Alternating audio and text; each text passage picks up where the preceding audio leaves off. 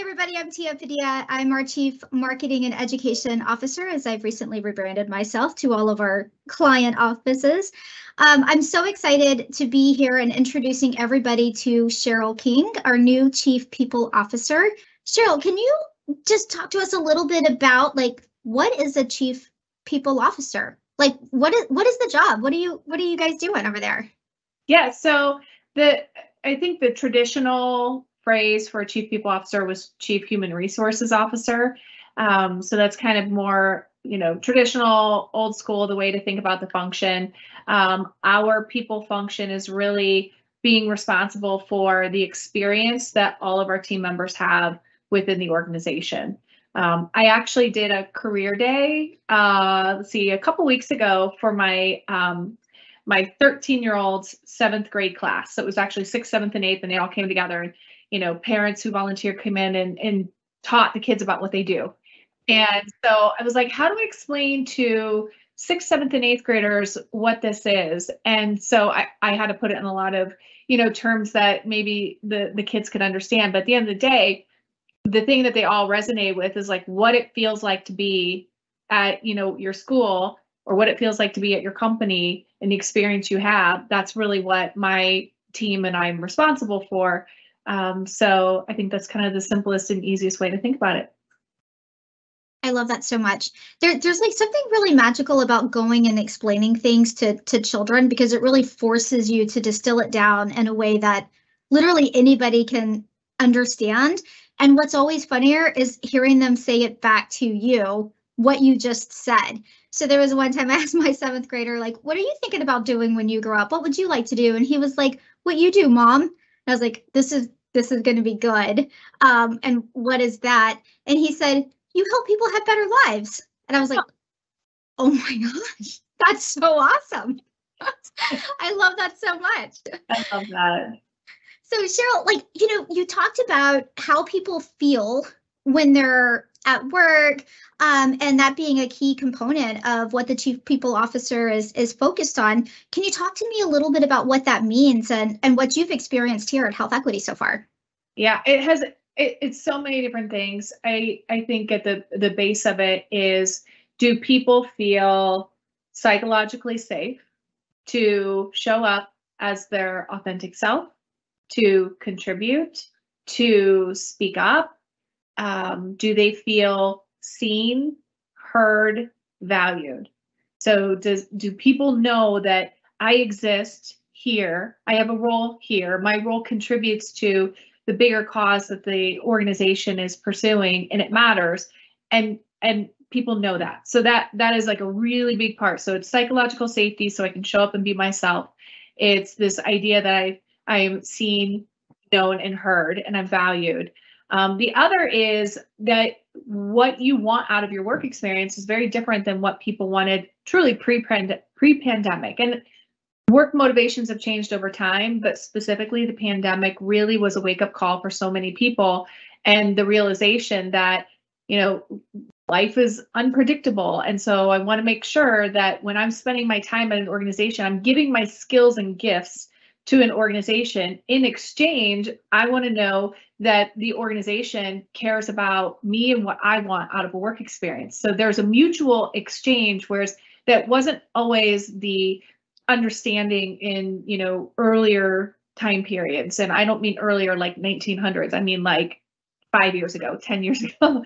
it wasn't the full. And so now it's a mutual exchange. So what people want to get from their work experience, they want to be paid fairly, equitably, they want to know they have the opportunity to grow either professionally, financially, or both. Um, that they're going to be recognized when they're contributing. They're going to have clear expectations so that they have the ability to achieve what they need to achieve. They're going to feel like they connect and they belong to a bigger thing. Like people want to belong. And you think about sports teams, if anybody's a fan of a college, you know, team or a professional sports team, like there is a sense of belonging that comes with being a part of that community. And and people want to feel that and they can feel it in their employer. There's a great opportunity to feel it here. And so that's a big part of like what it feels like to work here. And then the other thing is just do people help each other? That's a big thing. Like we're all each other's teammates. And so do you feel like you're working with people who want to help you be successful who want to support you?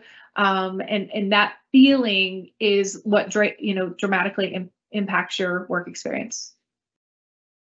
It's so awesome. It, it definitely makes a huge difference. And, you know, I'm, I'm recruiting right now and talking to so many people about what they're looking for in environment. And there's such a massive shift to your point than what I was experiencing a couple of years ago, what people are looking for. And it's exciting. It's actually really thrilling to talk to candidates and, and talk about who we are and the impact we make and our culture. And people are like just really drawn to it. And I think so many more people, even right now, are drawn to the impact side of it and being able to articulate that right now. It's just really exciting to be a part of. Yeah, I would also, uh, you know, I think back to earlier in my career, I would get, um, I would, I'm going to use the phrase made fun of. That's probably too strong.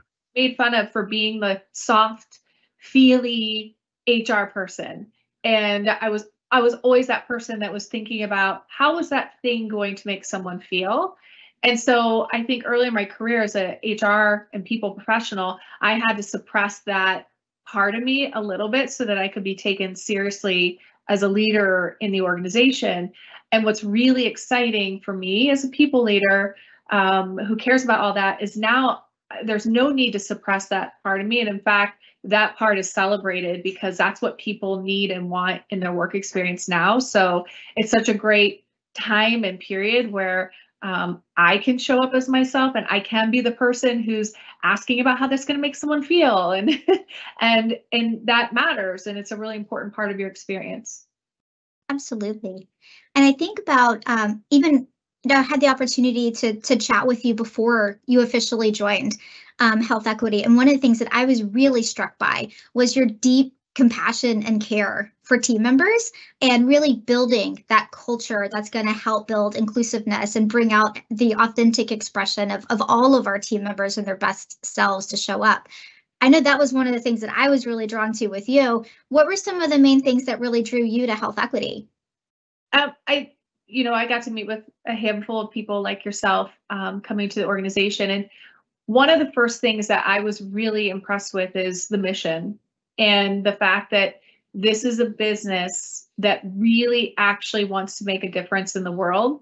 And and the difference is not just a you know a financial difference in the marketplace which a lot of companies you know they're really focused on just the numbers. And by the way we have to have numbers in order to take care of people. So like there's there's an awareness on my part that yes a company needs to be successful and financially successful in order to fulfill their mission but I've seen in, in many companies where the focus is just on that and it's not in order to or in you know pursuit of. Whereas at HealthEquity, it is in pursuit of a really um, deep and true and personal mission, which is to improve and save lives and and help people live better lives by making sure that they have the access to the healthcare and the financial wellness that they need. That is something that like I think anybody can get behind. Anybody, I, I, think that's huge. So that to me was really key. Also, the just the kindness, the kindness and the support and the human nature of this organization. Um, I went my my second week here, went to the Sales and Relationship Management Conference, and I was blown away by the level of personal sharing that our leaders were getting on the stage and sharing about themselves and the vulnerability and the willingness to share with the intent of creating awareness and the intent of humanizing everybody and being a people leader. Anytime you get to humanize people i you know i will celebrate and, and cheer for that. So being humanistic and caring about human impact whether it's internally or externally was a huge draw for me. Uh, the last thing i would say is being a, a hr people professional i understand where health savings accounts come into play in the grand scheme of an employee um, experience when you think of our, our clients. And I also understand it's way under, under, like people don't understand it as pervasively as they understand most other parts of like a core offering. So I think of it that way. I'm like, wow, we are really truly at the early stages of something that is going to be so common in you know call it three five years it'll be so common and we get to be a part of that journey that's pretty cool That is that's that is a pretty incredible um, opportunity and an experience. And you are reminding me the Sales and Relationship Management Conference. I had the opportunity to see you. That's my first time to get to see you present live. It was unplanned. So poor Cheryl's on like day two or something like that, um, starting up, and uh, there was an executive panel. John, I think, was was maybe the facilitator of the panel, and and Steve was up there, and a couple of others. And so John starts talking about something people related. And then all of a sudden it says, well, well, wait a second, why am I answering this question? We have our chief people officer right here. And he pulls Cheryl onto the stage and um, and you did remarkably well for somebody who was brand new, unplanned, unexpected, with a room full of very eager team members to hear what you had to say. How was how was that? I, you okay? So I will, in full transparency, I love the stage. So I never ever shy away from the stage. I remember when I was, you know, in my early, early, you know, 20s kind of college year, um, Tony Robbins was really big. And I, I might mm-hmm. be myself by talk, t- talking about Tony Robbins, but I was like, I want to be like Tony Robbins. I want to be on stage and I want to inspire and I want to motivate people. And so I don't shy away from a stage. So anytime I get the opportunity, I am always welcome to it. So from that regard, that uh, was no no concern whatsoever. I, the I was getting questions on things that I am by no means an expert to speak on yet because I was so new. So I I was more um, a little nervous about making sure that I didn't come in acting like I know a bunch of stuff and I'm in week, you know, I'm in day six. And so I was mindful of I don't know anything yet. And I, I want to be respectful of the fact I still need to learn a lot.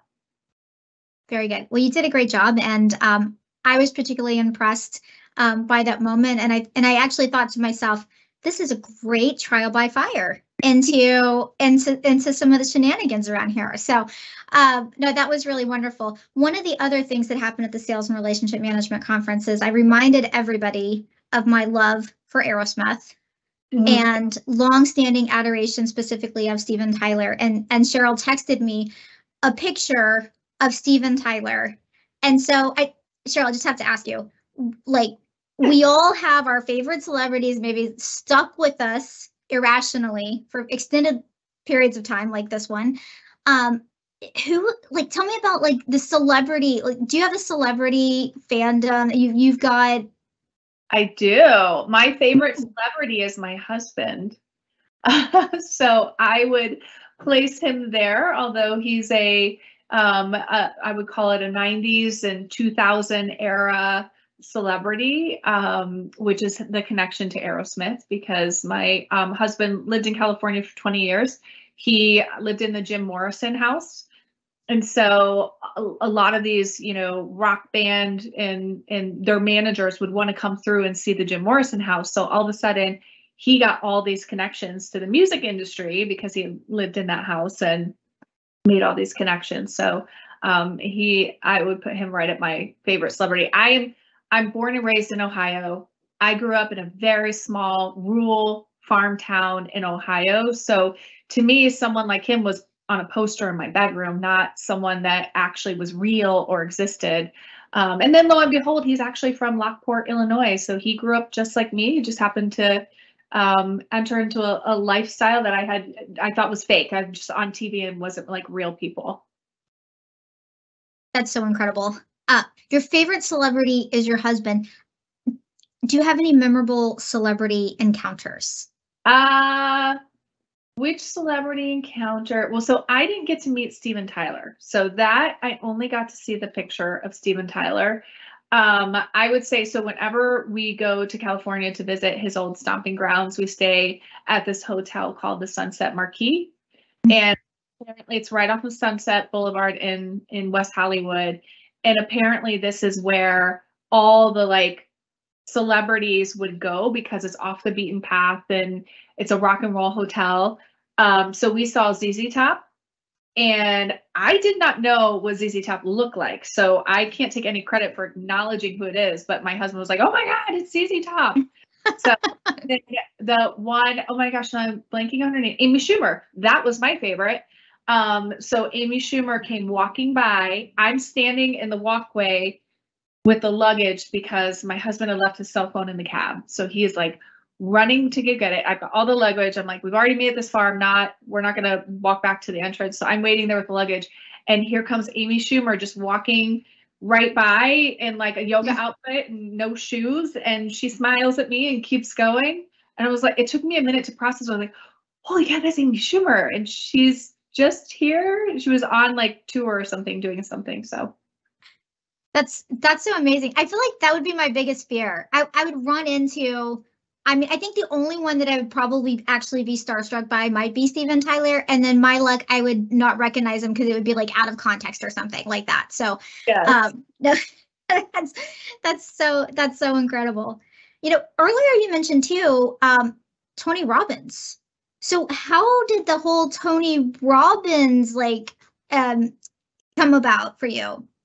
Uh, you know, I listened to um, a lot of his books on audio. So I was listening to books and um, I want to say, I'm trying to think if there, I don't think podcasts were a thing back then. So I'm trying to remember how I saw him.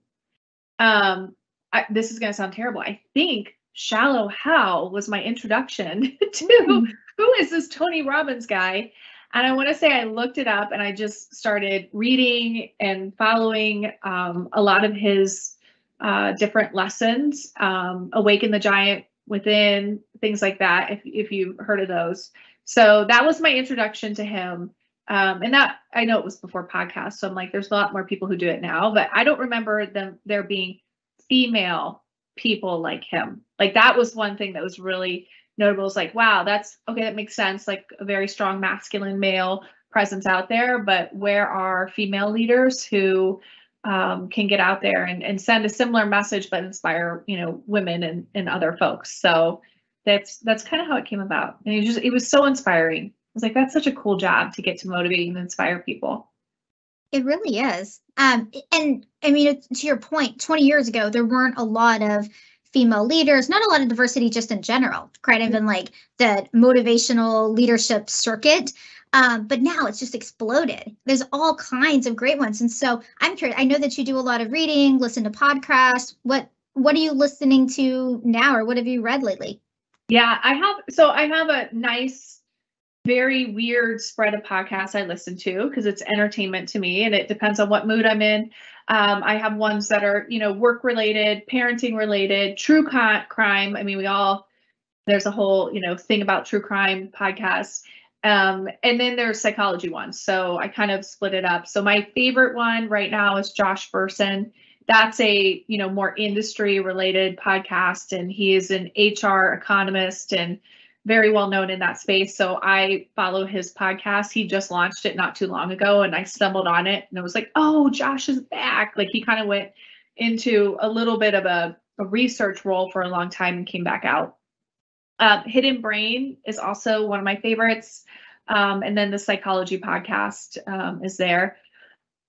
From a book perspective, I always mix in a parenting book, like a psychology book, a self help type book. So, um, one of my, I just recently finished um, this parenting book called How to Raise Successful People. It is so good. Um, really, really kind of talks about um, as a parent, like what are the things you can do to set your kids up to be people, not just kids, like people. So, I love that. Um, and then two other ones. One I'm rereading. I read a while ago, and I've I've got it back on my reread list because it was so good. And that's emotional agility. Uh, really, really helpful way to think about regulating your own thoughts and feelings, and um, that's useful. And then um, hard to break. So I've probably I've read a handful of books on habit setting and habit formation, and habit breaking. So whether you need to create a habit or break a habit, um, but this one's actually really interesting on helping you understand the the wiring in your mind and why habits, good or bad, are extremely hard to break. So um, that's pretty interesting one too. That's great. Um, and a nice sort of like mix of genres. Like one of the things that I found I, I love to read um, as well. Not a podcaster though. Interestingly enough, I've totally like I'm not on the podcast train, um, but love to read. But one of the things that I've noticed is that uh, my my area that I focus on, it, it just sort of changes. Like, and, it, and it's also evolved like throughout my life um, based on all kinds of things, just like how I'm feeling, uh, where I need to develop in certain areas. Also, just the people that are surrounding me, because you also pick up, you know, their book recommendations that'll take you off on a whole other track. Um, I've noticed a lot around emotional resilience and habit formation and breaking. Um, what sort of led you down this path and part of your journey right now?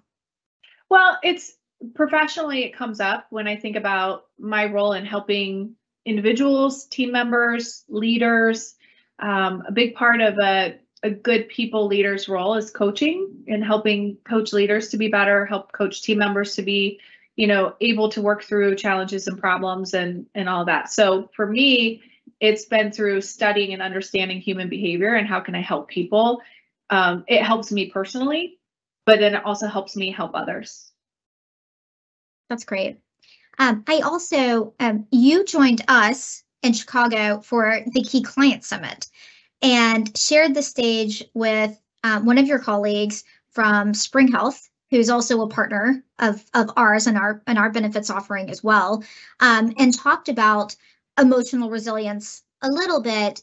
And it was kind of fun to see you two playing off of each other um, in terms of like your it sounds like you had a close relationship in the past some shared interest but then also just like the challenge that uh, people offices are, are facing at this time um, can you talk to us a little bit about that relationship and how that's evolved over time as well yeah i you know for me earlier in my career i didn't understand the value of networking so I, I thought if I just connect to the people within the company I work for, that's great. Like that's my network.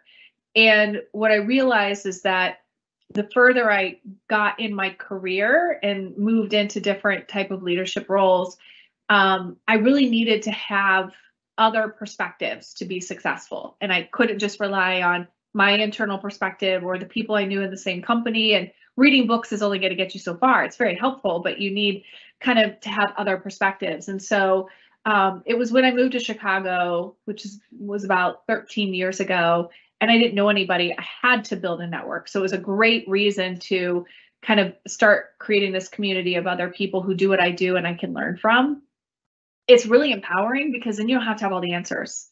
Like that's a really valuable part of it. So I had connected with um, with Karishma, who is the chief people officer for Spring Health.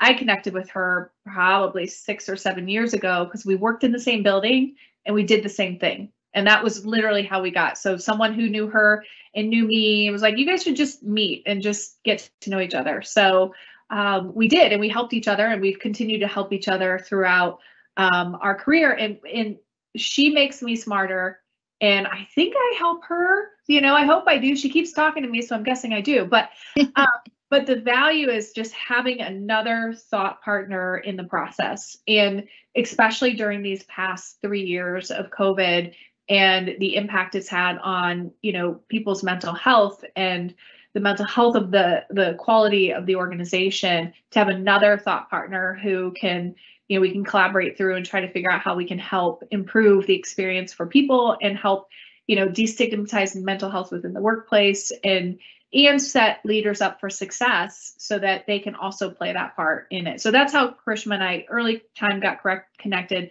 and then how we've pulled each other through um, and supported each other. And I have a few other people like Karishma in my network that we all we all help each other. And in the whole intent is if we can help each other, we help so many more organizations and so many more people. You spread your your positive impact. For sure. Um, I love that. I, I've seen like the power of a network from everything from um, advice, like in marketing too, uh, getting creativity and inspiration from from others and how would you solve this problem or how would you design this structure um, getting that outside perspective from others that are thinking about the same things and may have solved them in, in very different and creative ways i think one thing that's a little bit different than maybe in the past is when you shared this example you have an opportunity to bump into people in the building or in the hallways or have those natural collisions. Um, and in a remote world, those things have to be done more intentionally and the approach is a little bit different. And so what would be some advice that you might have for our team members that are hoping to build a network in a time where we're fully remote? So I think that webinars and conferences and meetups, like regional meetups, are still something that are going to be very popular and people are going to actually flock to them more because they have that craving for um, interpersonal connection. And so I think those moments where you have the opportunity to go to a meetup or be a part of a you know a luncheon that you're invited to because it's going to be other people who you know either graduated from the school you graduated from or they're an alumni. Anywhere that you can network with people who um, either have some similar career career professional backgrounds i think that that is an awesome opportunity. So what i've found and i, I was encouraging the folks at our client summit it's like you're in a room with people who do what you do talk to them exchange phone numbers exchange emails. Like that is like the quickest and easiest way to do it. I had um, a colleague at my last company and she did toastmasters. That thing still exists. So she did toastmasters and so she connected with people there because you just never know how those connections will will help you. So i think it's a little bit easier than you'd think. You just have to be willing to talk to people when you're in in-person settings or you're in a virtual kind of conference and exchange numbers and and help each other. That's great advice. And we do feel um, or forget about a lot of these like sort of old school networking mechanisms like toastmasters. I just had to smile a little bit because gosh that one's been around for a very long time totally. um, So the concept of networking, building relationships and connections in a remote environment is an area that's that's certainly come up quite a bit of people trying to solve that one. And then another one is work-life balance. So when you're commuting to an office, it's like you that, that commute that everyone complains about is also creates a buffer and a wall and a separation between your work life and your home self. And a lot of times people are feeling that missing in the remote environment and and the work is creeping into the personal and personal is bleeding into the work. So um, what how how do you think about work-life balance and how do you create some barriers for yourselves? So I have coached people on work-life balance for at least 15 years because I am a uh, a workaholic who has learned how to not be a workaholic, who's learned how to manage it so I can have work life balance. And so because I've I've been there mentally, I know what I know what to look for and I know some of the common causes. And and typically it's associated with how you identify your value and the value that you can bring. And so there's a whole series I, I would love to eventually you know do a session and a webinar here on on boundary setting and how you can set that. I say all that because it starts with work life balance starts with you and it starts with identifying boundaries and making sure that you are setting boundaries that help you. So for instance if one of your back one of your boundaries is you know you've got kids that you need to take care of and that your day needs to end at 5 p.m because you've got sports and kids and da da da then make sure that you figure out how to set that boundary. And that might mean i know for me that might mean that i if i cut off at 5 then i'm probably going to have to check a few emails later once the kids are settled or in bed and i've established that boundary for myself instead of letting it creep past another boundary for me is exercise i have to exercise. I am not my best self if I don't get at least a 30 minute workout in um, during the day. And I, usually it's like right before the kids go to school. So I'm squeezing it in in the morning, but sometimes it has to be, you know, in the middle of the day at lunch, I'm, I'm getting a 30 minute walk in so I can do something to kind of reset and, and keep my mind fresh. So establishing your own boundaries and what can you do to keep those boundaries um, that's going to be key. Like nobody can force boundaries on you, and you have to force them on yourself truly. And know what's you know where you have flexibility and where you don't, and and work within those parameters. Yeah, that's such wonderful advice, and and also for the leaders um, that are on the call right now, setting a good example for your team members. I mean, I remember a couple of weeks ago, um, someone was trying to schedule some time with me and they said, well, they, they look like you're blocked, but you might be flexible. And I said, I'm actually not flexible because my son's having a football game and I'm planning to be there. And it was amazing how happy this team member was to hear me say that. And they said, you just gave me like such a relief and, and permission for myself to feel like I can do it. And it's almost like just reminding people that we're humans first, right? Yes. We we have lives, we have emotional needs, and we have to manage our own industry or our our own energy. And as leaders, part of our responsibility is managing the energy of our team as well. and to your point modeling the way so i i'm just like you i've got my kids are in all sorts of sports and i coach i don't know why i did this i coach two soccer teams and like so today it's thursday and i have to be done right at five because i have to go and coach two different sports practices. Um so i have those boundaries but i will speak to it when someone's like hey can you take a call at five today I can't. I've got to go to this or or I need to end this right at this time because I have a lacrosse game for my son. I got to go watch and I don't want to miss this game. So being able to speak to that as a leader gives your team permission to to to say that too. And I remember not too long ago, you wouldn't tell people why you couldn't meet past 5 You don't want to tell people like I've got a kid event because people and this is probably 10 years ago so it's not as recent but at least 10 years ago it would be like oh okay you're not prioritizing work it's like, no, I'm prioritizing life. Like I'm prioritizing both. And that makes me better at work because I can actually feel like I can give my best self to to both. It absolutely does. It, it does make such an incredible difference. I mean, I I just think about my own self and my own energy when I know that I'm focusing on the areas that are most important to me and taking care of myself, taking care of my family, taking care of my home. I can show up at work and be fully present and to, and I have a different energy about me, a certain enthusiasm and optimism about the future, and a creativity that I wouldn't have otherwise had. So it's it's totally true. So Cheryl, I have to ask you because this is so hilarious to me. How did you end up coaching two soccer teams? Okay, so and here's the thing: I didn't play soccer growing up, so I don't actually know. I don't know the positions. I don't know the rules. Um, but I am like true to form. I know all the kids' names and I know what motivates them. So like that, I am like the talent person. So I know who's really good at defense and who's good at offense. And I know who can play goalie, even though I don't know the actual rules. So the value I play is I'm the one who is like, oh my gosh, like this one kid, like he always plays goalie. And so one day we had him play offense and he don't ask me what position because I don't I just know it was offense. And so and he did so good. So it was after that I'm like, nope, JP is always playing offense. Like he thought he was a goalie, but he's not. He's really, really good. And he's loving it and he's, you know, he's thriving.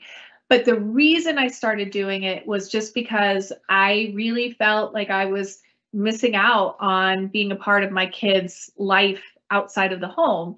And when before the pandemic, I had to, you know, commute into the office every day. I worked, you know, I'd leave the house at 6 30 in the morning and I'd get home 6 30 or 7 o'clock at night. And so I wasn't the one that took the kids to school. I wasn't the one that helped them with their homework.